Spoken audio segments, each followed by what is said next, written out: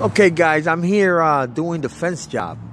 I'm using, uh, reusing the old pipes and stuff like that. Save money, and these are the best pipes. They don't make them like they used to.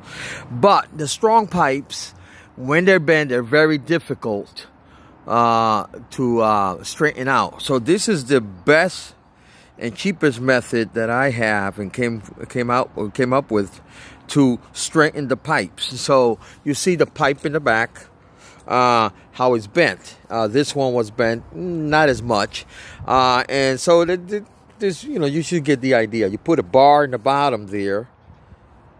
Uh, you get two chains, two equal pieces of chains like that, and you put the bar in the bottom of the jack there, and then you uh, put the uh, bend right where the jack is, and when you jack it up uh, it'll go up with the bend.